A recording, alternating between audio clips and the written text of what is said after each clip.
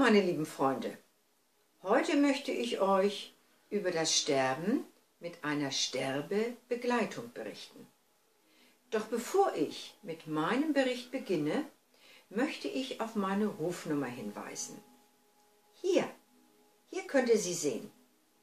Denn sicherlich hat der eine oder andere bestimmt Bedarf, mich zu kontaktieren. So, ich lese aus meinem schönen alten Buch vor.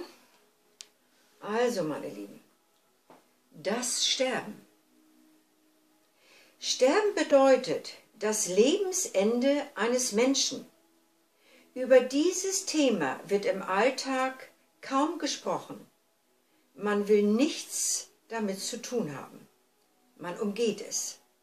Man spricht nicht darüber. Doch auch das Sterben gehört zum Leben. Einfache Sterbefälle gibt es nicht. Oft ist eine Sterbebegleitung erforderlich, in vielen verschiedenen Formen. In meinem Beruf erfahre ich das immer wieder. Der Prozess Sterben ist nie einfach. Nicht für den Sterbenden und auch nicht für die Angehörigen.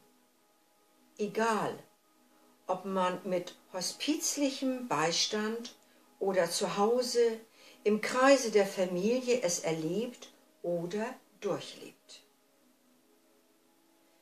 Heute erzähle ich eines meiner Erlebnisse, wo ich dieser Frau helfen konnte. Es handelt sich von einer alleinerziehenden Mutter mit drei Kindern. Die beiden Älteren waren lebhaft und gesund. Das sechsjährige Nesthäkchen hatte eine schwere Nierenkrankheit. Marie, so hieß das kleine Mädchen, kam gesund zur Welt. Doch durch einen Virus wurden ihre Nieren angegriffen und so geschädigt, dass sie später zur Dialyse musste. Plötzlich änderte sich das gesamte Familienleben. Der Vater konnte nichts damit anfangen, er konnte nicht damit leben, dass das kranke Kind im Vordergrund stand. Er verließ nach kurzer Zeit die Familie. Er zog aus. Unterstützende Hilfe von seiner Seite kam überhaupt nicht. Die alleinerziehende Mutter kam so in finanzielle Schwierigkeiten als wenn sie nicht schon genug Sorgen mit ihrer kranken Tochter hatte. Als Mutter musste sie nun alles alleine regeln. Arbeiten konnte sie auch nicht mehr, denn die kleine Marie beanspruchte sie voll und ganz. Die beiden anderen Kinder rückten nach hinten. Trotzdem versuchte die Mutter auch für sie da zu sein so gut es ging. Sie gingen noch zur Schule und brauchten ebenfalls in vielen Dingen ihre Mutter. Sie schaffte es auch, für alle irgendwie da zu sein. Eines Tages bekam Marie eine neue Niere und zwischenzeitlich ging es Marie auch besser und die kleine Familie konnte aufatmen. Das Sozialamt kürzte die Unterstützung Sie waren der Meinung, die Mutter konnte nun arbeiten gehen. Nachbarn wunderten sich, wo diese Frau all ihre Kraft hernahm. Und sie sammelten Geld, sodass sich die Familie auch mal etwas gönnen konnte. Doch plötzlich ging es Marie wieder schlechter.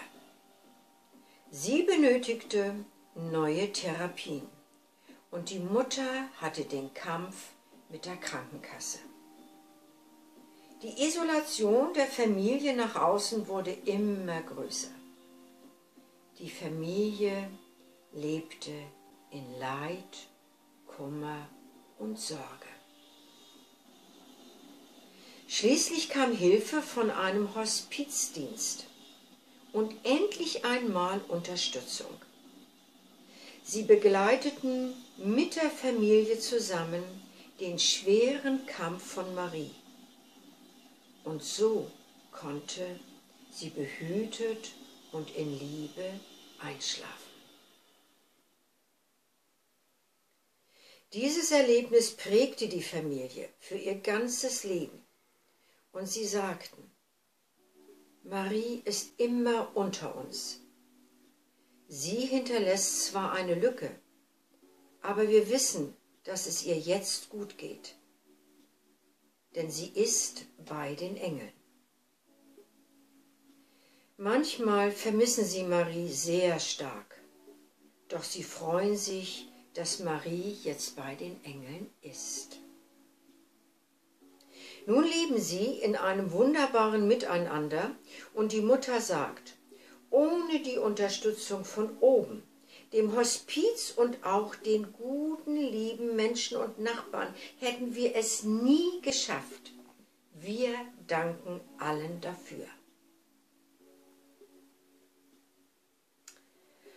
Und ich, ich danke euch fürs Zuhören. Eure Deria.